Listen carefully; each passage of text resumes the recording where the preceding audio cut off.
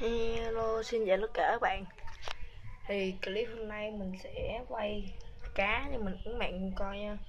Thì trên tay mình đây thì là một con cá um, lóc cảnh Này, giờ mình sẽ quay cho bạn coi cái lóc cảnh Thì mình sẽ phân chỉ bạn phân biệt cái lóc cảnh hoặc là cái lóc um, đồng nha cái lớp đồng thì ngay chỗ thân của nó đây. Đen hết. Nó không có mấy đường sọc sọc mà lại sọc đen này giống thấy vậy thấy không? Sọc đen này. Giờ mình sẽ bắn cho bạn cùng coi. Ngày sáng mưa nước rất là lạnh.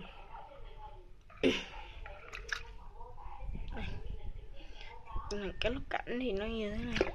Nha. Cái bị à, uh, tụt xuống à, mẹ đợi mình tí nữa mình tắt cái quay để mình bắt xong rồi mình sẽ quay tiếp cho các bạn coi rồi, hồi nãy giờ mình bắt đã được xong con cá lóc. Này, thì nếu mà mình đặt xuống này cho các bạn dễ ờ, nha. Đặt vào đây. Thì là lóc á. Thì bạn nhìn này phân biệt cái lóc cảnh nha cái lúc cảnh thì cái phần phần cái chỗ cái bụng nó ở giữa đây.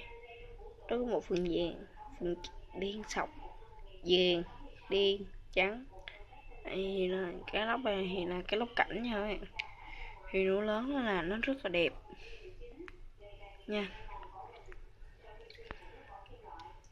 Này bạn nhìn cận cảnh này. Vậy này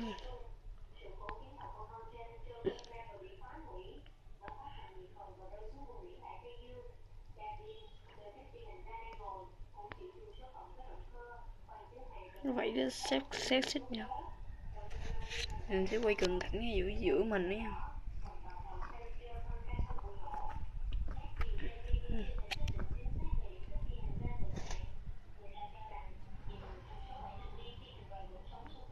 Đây.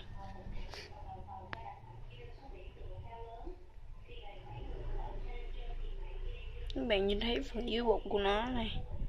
Này này màu trắng. Còn cái phần trên bụng này của nó này, màu vàng, trắng, đen, nâu. Mình cần cảnh lúc giống là rắn thôi được giống là rắn này, cái miệng nó cấu tạo cũng y chang cá lóc. Gì giống vậy con cá lóc ấy nè. Lóc thường. Mình sẽ quay dưới bụng cho các bạn coi. Cái bụng này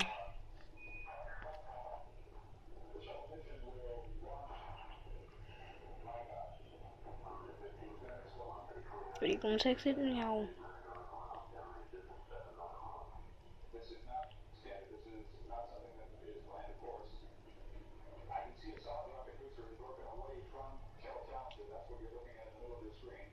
Rồi bây giờ mình sẽ thả nó vào hồ nha các bạn.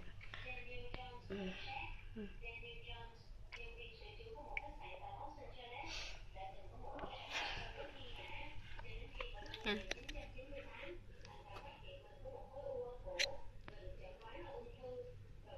cái lốc đây là cái lốc cảnh nha các bạn.